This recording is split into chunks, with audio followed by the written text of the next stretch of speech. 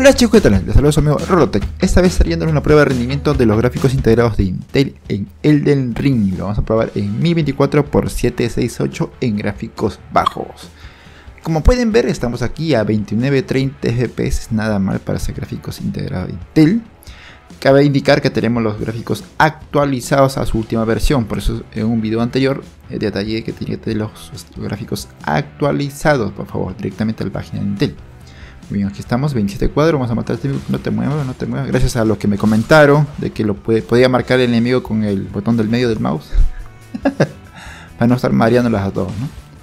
Ah, 33, 48 FPS, miércoles. 35, nada mala. ¿Quién diría que los gráficos integrados de Intel podía llegar a 30 FPS en el del Ring? Ya que este juego es bastante exigente y causa muchos problemas a los que tienen unos componentes muy modestos. Y curiosamente estamos probando con gráficos integrados de Intel, que muchas veces ustedes lo ven como el patito feo, ¿no? Pero aquí podemos jugar. Aquí otro enemigo, vamos a filetearlo, filetearlo. 39, 40. ¡Uy, mierda!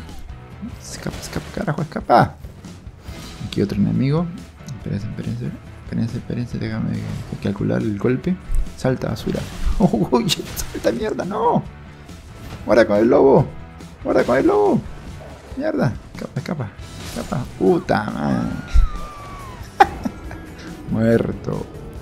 Ahora vamos a probar en gráficos al máximo. 24 x 768. Todo al máximo. A ver, miércoles 15 FPS. Bueno, hacemos esta prueba para ver el máximo rendimiento que puede ofrecer nuestros gráficos, nuestros humildes gráficos de Intel. Muchos de ustedes dicen, no, Rolo, ¿por qué pruebas estos gráficos integrados en, esta, en el del ring? No, bueno, ¿por qué no? Yo, yo digo, ¿por qué no? Para ver, eh, al menos, recordemos que no todos tenemos el mismo presupuesto, chicos. Algunos eh, no pueden comprarse una gráfica, pero sí un procesador decente, como es el i5 11400, que es muy bueno. Y como por mientras estamos ahorrando para comprar una gráfica dedicada, podemos utilizar los gráficos integrados. Y miren, si me gusta el ring, puedo jugarlo a 30 FPS tranquilamente. Bueno, aquí lo estoy probando en máximo, ¿no? Pero es, un abuso. pero solamente es una prueba, es una prueba loca, ¿no? Y nos da 15, 16 FPS en 1024 x 728 al máximo.